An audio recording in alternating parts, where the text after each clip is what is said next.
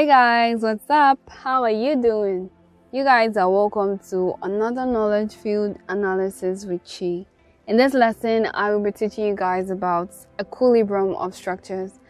I'll also enlighten you on the equations of equilibrium and lastly, the types of support for plane structures. These topics are of course very essential in this course. Without further ado, let's dive into today's lesson, starting with equilibrium of structures.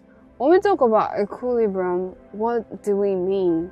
Equilibrium is a word which is synonymous to balance and stability. So, if a structure is in equilibrium, therefore all its members and parts are balanced and they are stable.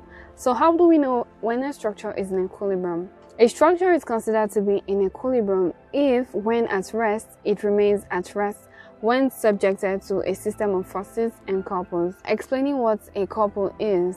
A couple is a pair of equal parallel forces that act in opposite direction with the same magnitude but they do not share a common line of action. That is what a couple is. So in order for a structure to be in equilibrium, all the forces and couples acting on it must balance each other, meaning the resultant force and the resultant couple must be equal to zero. That means there are no resultant couples and forces acting on the structure. So having understood what equilibrium is, we now move on to the equations of equilibrium. Basically, there are three equations of equilibrium. We have the summation f of x must be equal to 0, summation f of y must be equal to 0 and the summation of m must be equal to 0. Summation f of x simply means the algebraic sum of the x components of all forces. In simple term, the horizontal forces. The summation f of y also means the algebraic sum of the y components of all the forces. In simple term, vertical forces. While the summation f of m means the algebraic sum of the moments of all forces about any point in the plane of the structure and the moments of any couple acting on the structure. Also, this simply indicates that the resultant couple is zero and the resultant forces are zero. So summation m must be equal to zero, meaning the summation of all the moments must be equal to what? Zero. Now that should be all for the equations of equilibrium. Moving on to the last but not the least topic for this lesson types of supports. Now, before we go into the types of supports, we first have to know what supports are, right? Yeah. So, what are supports? A support in a structure is simply a member which helps other members to resist loads.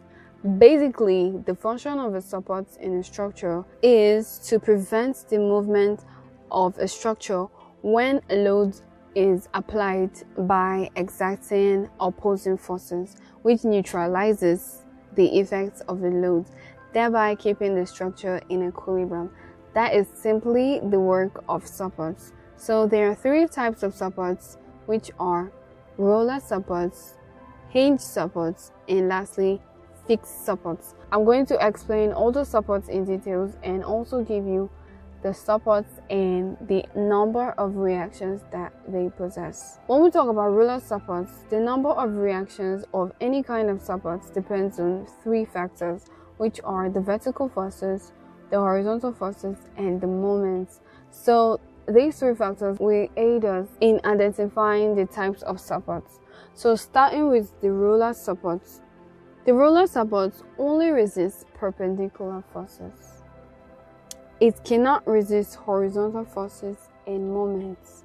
A very good example of a roller support is a roller skate, something that we all can relate with.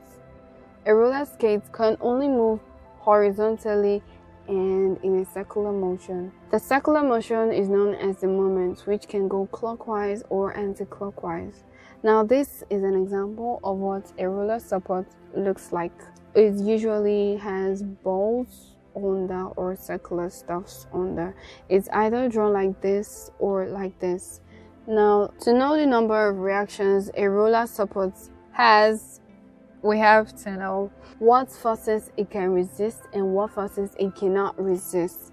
So, since it can only move horizontally and in a circular motion, that means it possesses horizontal forces and moments, meaning it cannot resist horizontal forces and moments. That simply means we are left with one, which is what? The vertical force. It can only resist the vertical force, meaning it cannot move in that direction. So that means we have what? One reaction for the roller support. So all roller supports has just one reaction because it can only resist one force, which is the vertical force. I guess that is clear. Moving on, we have the hinge supports. The hinge support resists both vertical and horizontal force but cannot resist moments. A very typical example of a hinge support is a door leaf. A door leaf can only move clockwise and anti-clockwise. It cannot move horizontally or vertically, meaning it cannot resist the moment but it can resist vertical and horizontal forces. Now, since it can resist vertical and horizontal forces, that means it has two reactions, which is reaction in vertical component and reaction in horizontal component. These are diagrams that are used to represent hinges. So this is an example of what a hinge looks like. Last but not the least, we have the fixed supports. Now, these are also known as rigid supports. They are restrained against both rotation and translation, so they can resist any type of force or movement. This simply means when something is fixed, it cannot move, meaning it can resist all forms of forces. Fixed support can resist moments, vertical forces, and horizontal forces, meaning it has three reactions. A very clear example is a beam fixed in a wall. That'll be all for today, guys. I hope you learned something from today's lesson. Shall we do a recap of what we've discussed so far today? First of all, we talked about equilibrium structures. We know that a structure is in equilibrium if initially at rest, it remains at rest when subjected to a system of forces and couples.